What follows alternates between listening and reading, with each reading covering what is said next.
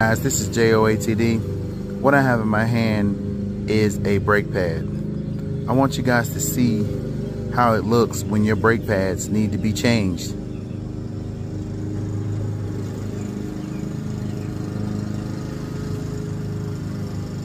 You see that? Nothing.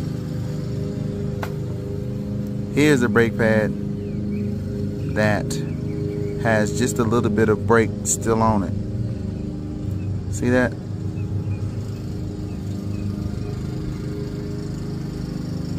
Alright, just wanted to share that with you guys. J-O-A-T-D and I'm out.